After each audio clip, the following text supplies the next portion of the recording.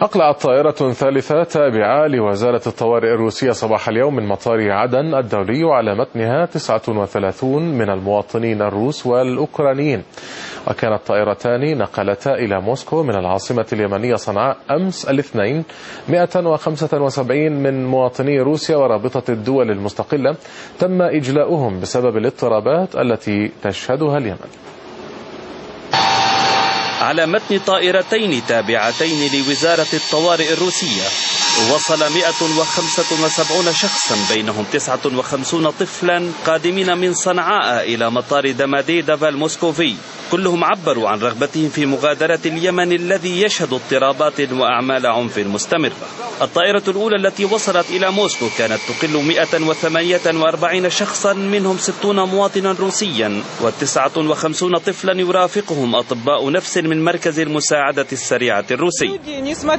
الرحلة كانت صعبة لوجود عدد كبير من الأطفال والرضع في الطائرة غير أن الجميع عاشوا الرحلة بشكل جيد. يقولون إن الوضع هناك في الأسبوع الأخير كان هادئا لكنهم يتوقعون تدهورا ويعبرون عن شكرهم لإجلائهم.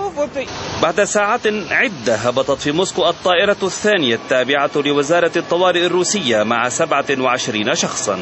عملية الإجلاء هذه برمتها نفذت بعد أن أعلنت الخارجية الروسية قرار تقليص عدد موظفي سفارتها في صنعاء والقنصلية العامة في عدن مؤكدة استعدادها لإجلاء الراغبين. قالوا لنا أن نكون جاهزين لكل شيء ولذلك كنا نستعد وننتظر إمكانية مغادرة اليمن.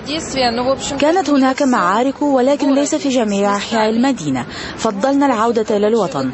السفارة اتصلت بنا وأعلنتنا بوصول طائرة من موسكو.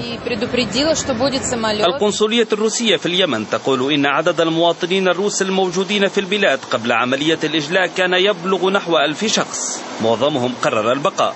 لكن الخارجية الروسية تؤكد أن موسكو ستبدأ عملية إجلاء واسعة في حال تصاعدت حدة التوتر في اليمن.